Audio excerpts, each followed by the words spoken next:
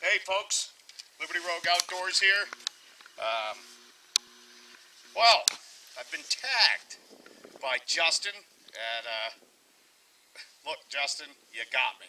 And you're not the only one to tag me, so this is going to be a two-tag session. You've got 11 questions. I'm out here today with my new Osage bamboo handmade bow, doing a little practicing. So, Mama's going to ask me the question. She's filming me, and her name is Billy Joe, folks. So, uh, give her a thumbs up.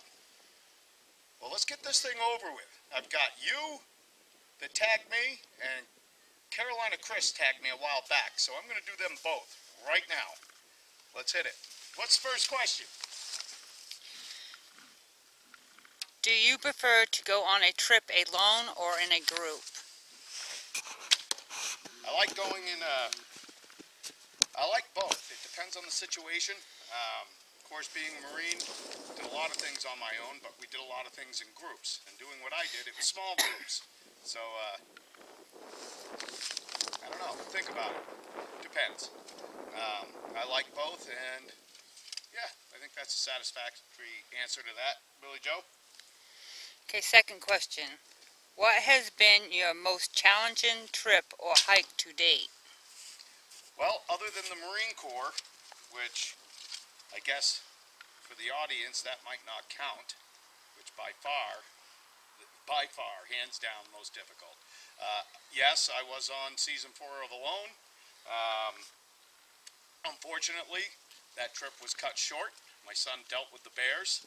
Um, so for him, that was probably the most scariest, maybe not the most difficult, but I'm proud of him regardless. And uh, yeah, I've had many journeys in my life. So um, I guess my best answer for that is stay tuned and we'll find out. Life goes on. Every day is a new adventure. Okay, number three. What has been the most beautiful and sleeping place so far? Under the stars, by far, is the best. Anywhere. Don't care where it is. Lay me right on the ground under the stars. I'm a happy camper. Number four. What winter activities do you do? Obviously, I do this pretty much every day. Um, living in the state of Maine, a lot of ice fishing, uh, snowshoeing, uh, hunting, yes, November comes hunting season. Um, fortunately, I don't know, winter seems to get further away, so we're starting to get snow end of November, December. When I was a kid, we used to get it in October. But uh, yeah, all kinds of stuff to do. Just get outside and, and find something to keep you busy and so you don't get that cabin fever.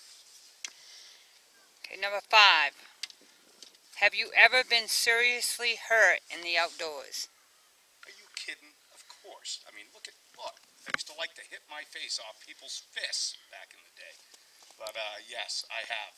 Many bumps, bruises, scars, broken bones, starved. Um, yeah, that comes with the territory. I mean, if you're an armchair weekend guy that goes out and has fun, that's one thing. But uh, if if you walk the walk and you talk the talk, it's inevitable, folks.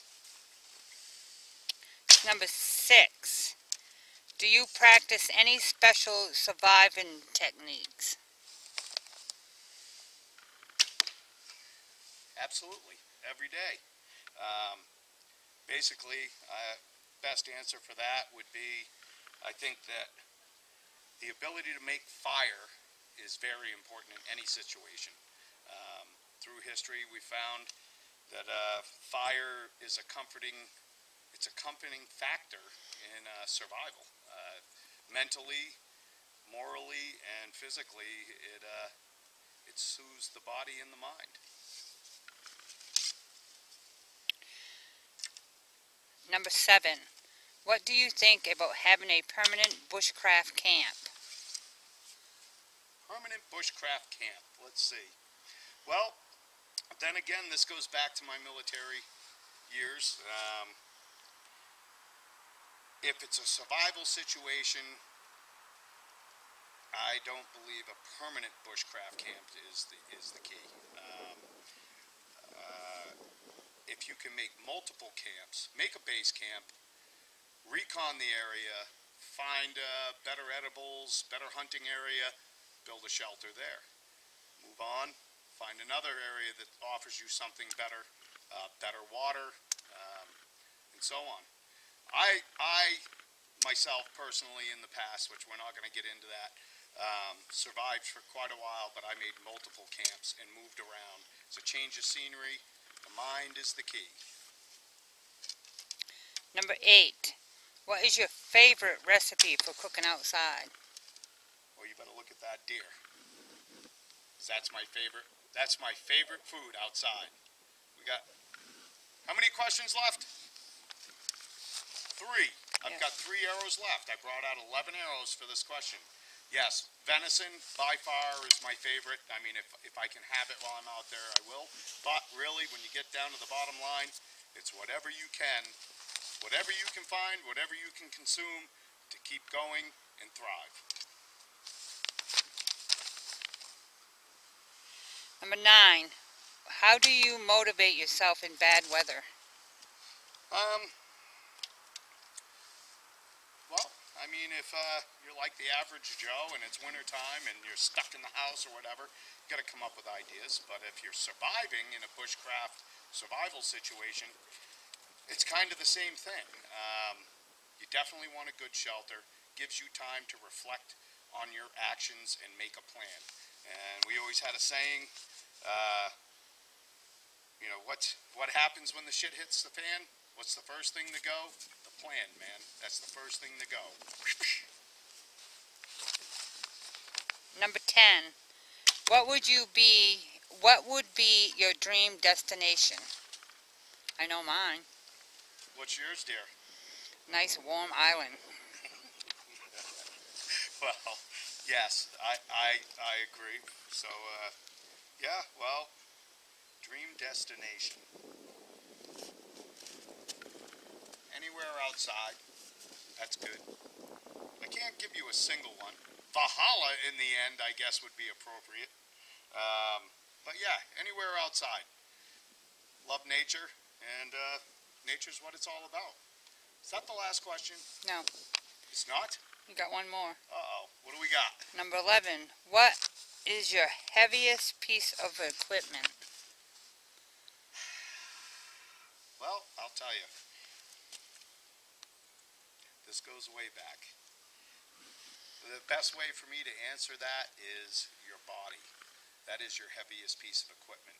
Your body and your your thoughts. Those weigh upon you very heavily in stressful survival situations. Um, we had a saying in the Marines: "Our arms are heavy and our bellies are tight." We had that saying for a reason. So. Uh, yeah, really, that's probably my heaviest. Can deal with the equipment. Everybody brings equipment, you know, backpack, whatever. But really, it comes down to you. So uh, be true to yourself because the self is the self's only friend, and never give up. That the last one. Let me Yeah. see if I can finish off old Lucky Bucky here.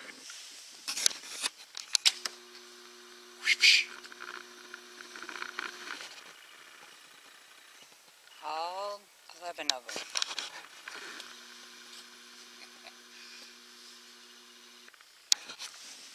All right, folks. Justin, I hope that I hope that uh, suffices. Um, yeah, I kind of did it a little quick, but my my answers are honest. Um, pressed for a lot of time, folks. I'm pressed for my time, folks, because uh, got this Bushcraft Expo coming up, the very end of April. Got a lot to do. Uh, it's going to be exciting. Look forward to it. Look forward to seeing Kevin, all you guys down there, and uh, gonna have fun. Um, that said, I've got one more tag to deal with, and that's Carolina Chris, old Texas Petey. All right. Tell you what, I'll be right back. So, Chris, you tagged me, buddy. It's taken me a while, but uh, I'm getting around to it. Sorry it took so long, my friend. So, five bushcraft, my five favorite bushcraft items. I'm gonna be a little creative here because everybody seems to do the same stuff. So everybody seems to do the same stuff. So uh, gave it a lot of thought. I'm gonna give you my answers. Well, I can tell you this, Chris. It's not one of these.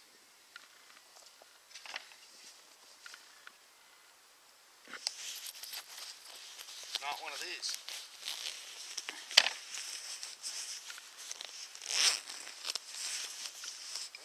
It's not a Ferris wheel.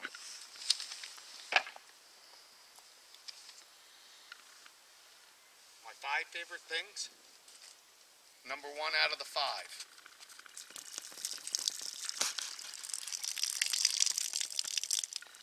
Number two.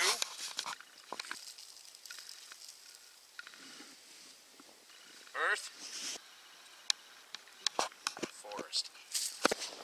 Number four. All I can say is.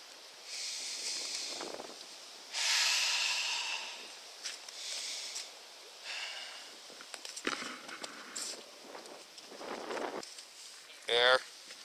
Number five is uh, Mother Nature and all her creations, all her critters. All right, Chris, I hope that satisfied you. Did the best I could on that. Uh, tried to make it a little different. It is a bear. You want to go get him? Who is that? Get him! Hey, folks, thanks for tuning in. What one man can do, another can do sometimes. Booyaka. And, uh, hey, it's all about attitude. So enjoy it. Get outside. Thank you, Mama, for standing out. Thank you, Mama Billy Joe, for helping me out. Booyaka. Catch you all later, folks. Thank you.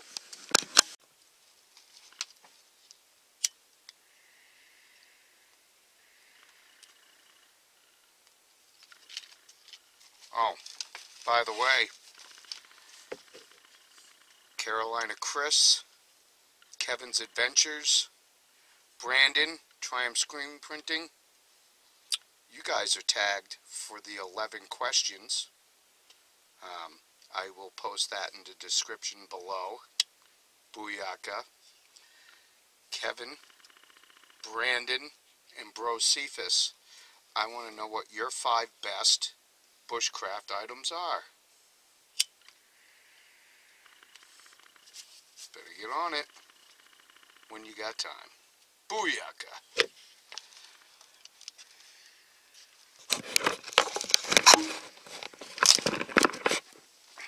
Come on, Bear.